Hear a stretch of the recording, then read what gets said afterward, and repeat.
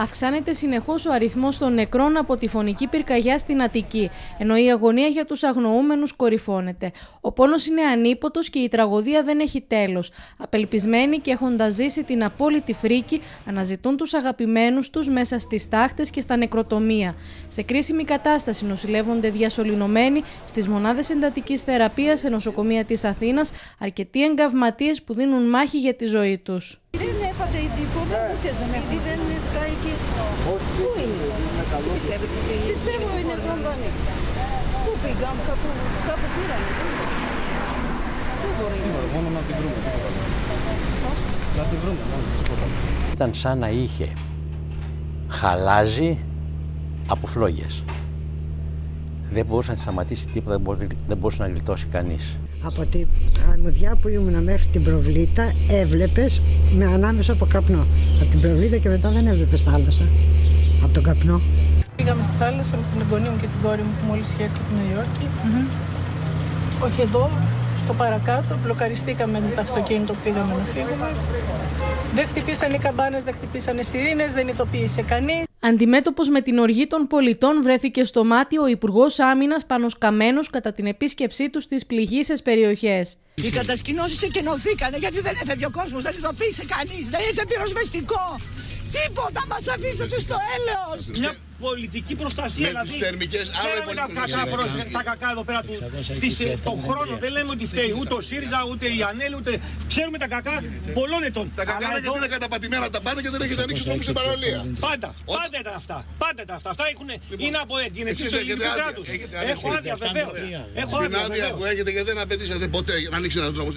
Ισχύουμε το έργο της πυροσβεστικής υπηρεσίας με τη συμμετοχή μας σε μεικτά περίπολα για να διευκολύνουμε το έργο της διερεύνησης των σπιτιών που έχουν υποστεί ζημιές προκειμένου να αναζητηθούν πιθανώς αγνοούμενοι, να καταγραφούν οι ζημιές οι οποίες έχουν γίνει, οι καταστροφές Την ίδια ώρα, μέτρα για τους πυρόπληκτους ανακοίνωσε η κυβέρνηση, ενώ ο πρόεδρος της Βουλής, Νίκος Βούτσης, σε δηλώσεις του από τη Βουλή, ανέφερε ότι με πράξη νομοθετικού περιεχομένου θα περάσουν άμεσα τα μέτρα που ανακοίνωσε η κυβέρνηση για την ανακούφιση των πυρόπληκτων της Ανατολικής Αττικής. Χορήγηση εφάπαξ έκτακτου επιδόματος στους πληγέντες μετά την ολοκλήρωση της καταγραφής των υλικών ζημιών από τα συνεργεία του Υπουργείου Υποδομών και Μεταφορών.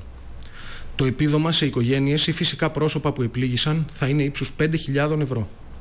Για τρίτεκνες ή πολύτεκνες οικογένειες το ποσό θα ανέρχεται στις 6.000 ευρώ. Για τις επιχειρήσεις που επλήγησαν η ενίσχυση θα ανέρχεται στα 8.000 ευρώ.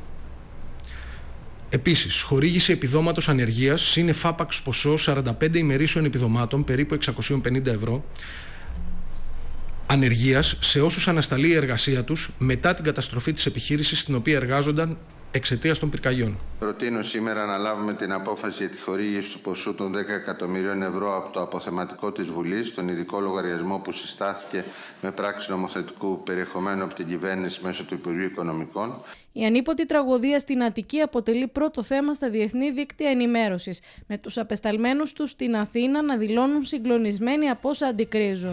Hello, this is BBC World News. I'm Lucy Gray. Our top stories. Searching through the devastation in Greece, the job now to identify the victims and find out how one of Europe's deadliest wildfires started. The hope of finding any more survivors has virtually gone. So the aim now is to look for belongings and bodies. For some, the sea marked their salvation from the flames. For others, it was the end. After the inferno, the search for the missing as officials confirm that 80 people were killed by wildfires in Greece. You're watching CNN Newsroom live from Los Angeles. Ahead this hour, as the death toll climbs, grief turns to anger in Greece, with many now asking what sparked the worst wildfires in more than a decade. Οι έρευνες συνεχίζονται, ενώ σύμφωνα με την ενημέρωση της πυροσβεστικής υπηρεσίας, οι δυνάμεις κατάσβεσης συνεχίζουν να παραμένουν σε πλήρη ανάπτυξη, καθώς δεν έχει εξαλειφθεί ο κίνδυνος αναζωπυρώσεων.